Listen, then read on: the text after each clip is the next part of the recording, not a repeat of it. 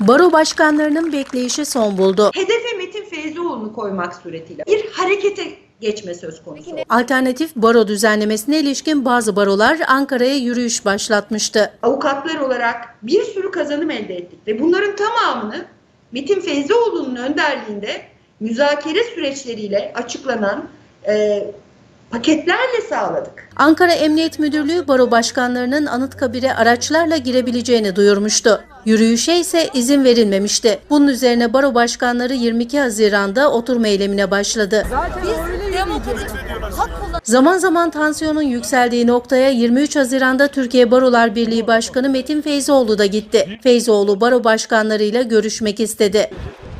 Çözülüyor merak etmeyin sizden. Çözülüyor merak Ancak bazı baro başkanları Feyzoğlu'na tepki gösterdi. Feyzoğlu ise alanda yaptığı açıklamada yürüyüşe izin için bakanlıklarla görüştüğünü ve müzakerenin sürdüğünü aktardı. Beni temsil eden İstanbul Barosu Başkanı'nın mecliste yapılan ikna görüşmelerine yer alarak beni orada temsil etmesini isterdim. Ama niye yürüdükleri belli değil. Yani tasarı ne getiriyor diyeyim. Bir şey yok ellerinde. Metin yok. Feyzoğlu'nun bu açıklamasından kısa bir süre sonra İçişleri Bakanlığı'ndan izin çıktı. Güvenlik tedbirleri eşliğinde yaklaşık 200 metre yürüyen baro başkanları daha sonra araçlara binerek Anıtkabir'e gitti. Mozeleye çelenk bırakılmasının ardından yürüyüş son buldu.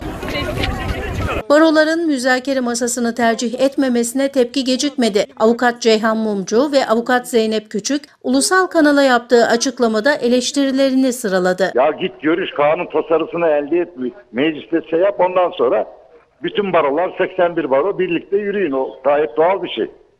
Ama niye yürüdükleri belli değil. Yani tasarı ne getiriyor diyeyim.